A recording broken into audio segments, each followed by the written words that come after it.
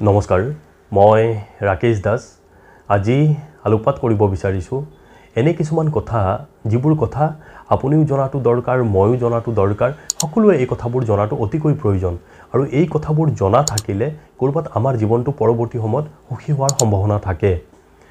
আজি তেনেকুৱা কিছুমান কথা আজিৰ এই ভিডিঅ'টোত মই আলোকপাত কৰিব বিচাৰিছোঁ। আমাৰ সকলোৰে এটা পৰিয়াল থাকে। সকলোৰে আছে। আৰু আমি সেই পৰিয়ালৰ সকলো সদস্যৰ লগত আমি দৈনন্দিন জীৱন নিৰ্বাহ কৰোঁ।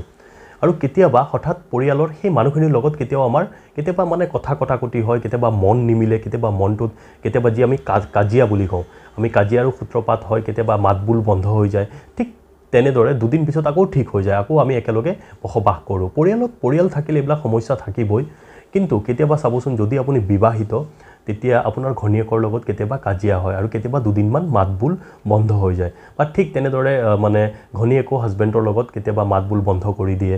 কেতিয়াবা হাজবেণ্ডে এনেকুৱা মানে মানে কৰ্ম কৰে যিটো ঘৈণীয়েকৰ ভাল নালাগে। কেতিয়াবা মানে হাজবেণ্ডো ঘৈণীয়েকৰ আহ, মানে যিখিনি মানে কৰ্ম সেইবিলাক ক'ৰবাত ভাল নাপায়। মানে পৰিয়ালত এইবিলাক মতানৈক্য থাকে কেতিয়াবা যদি ল'ৰা ছোৱালীৰ যদি মানে ভাল পোৱা থাকে গাৰ্লফ্ৰেণ্ড এণ্ড বয়ফ্ৰেণ্ড যদি থাকে সিহঁতৰ মাজতো মতানৈক্য হয়। বেছিকৈ সিহঁতৰ মাজতেই হয়। আৰু কেতিয়াবা এনেকুৱা মানে কিছুমান পৰিৱেশৰ আমি দৈনন্দিন আমি মুখামুখি হওঁ। কেতিয়াবা আমাৰ পাৰ্চনেল কিছুমান কথা লৈ পেলাই মানে মানুহৰ প্ৰতিটো পৰিয়ালতেই কিবা না কিবা লৈ পেলাই মানে কিবা এটা লাগি থাকে আৰু। আৰু দুদিন পিছত আকৌ ঠিক হৈ যায়। কিন্তু কিছুমান এনেকুৱা মানুহ আছে মানে পৰিয়ালত কিবা এটা লাগিলে বেলেগৰ লগত শ্বেয়াৰ কৰি দিয়ে। যে ধৰক আপোনাৰ নিজৰ বন্ধুৰ লগত বা তেখেতৰ কোনোবা ক্ল'জ সম্পৰ্ক যদি থাকে খুব ঘনিষ্ঠ কোনোবা যদি আছে তেতিয়া মনৰ মানে যিখিনি মানে মনত যিখিনি মানে কথা চলি থাকে সেই কথাবোৰ কাৰোবাৰ আগত শ্বেয়াৰ কৰি দিয়ে। আৰু ভাবে যে মই যদি মোৰ মনৰ কথাখিনি কাৰোবাৰ লগত যদি প্ৰকাশ কৰোঁ ঘৰৰ যি কিছুমান ভিতৰুৱা কথা থাকে যিটো মানে আপোনাৰ ধৰক হয়তো ঘৰত আপোনাৰ আজি কাজিয়া হৈছে কিবা কাৰণ লৈ পেলাই আপোনাৰ মিছেছৰ লগত আপোনাৰ কাজিয়া হ'ল বা আপোনাৰ হাজবেণ্ডৰ লগত আপোনাৰ কাজিয়া হ'ল তেতিয়া মানে আপোনাৰ মনত কিছুমান এনেকুৱা লাগে যে মই মানুহজনক যথেষ্ট পৰিমাণে খং উঠি থাকে।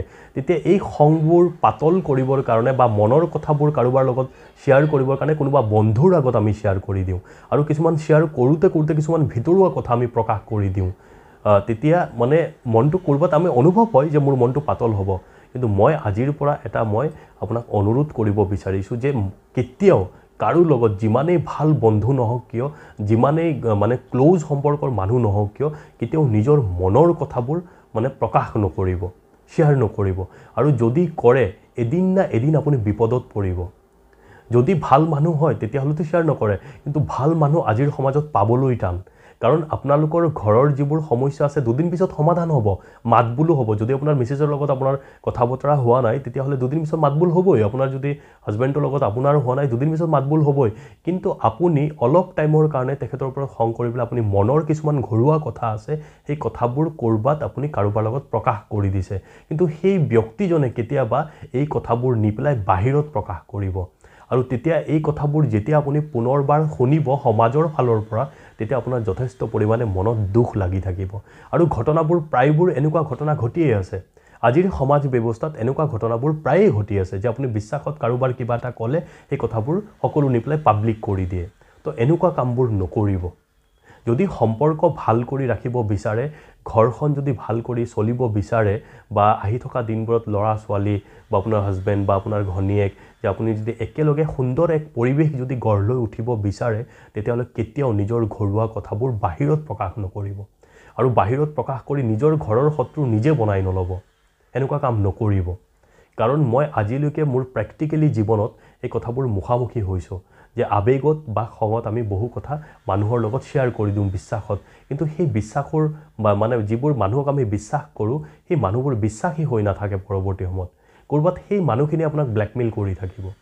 সেইকাৰণে কথা বতৰা কওঁতে বা খঙত যদি কিবা মানে কথা যদি মানে খং উঠিলে কাৰোবাক কিবা যদি ক'ব মন যায় এনেকুৱা কিছুমান কথা ভিতৰুৱা কথা নক'ব যিবোৰ কথা আপোনাৰ জীৱনটো ক'ৰবাত বেয়া দিশত গতি কৰাব।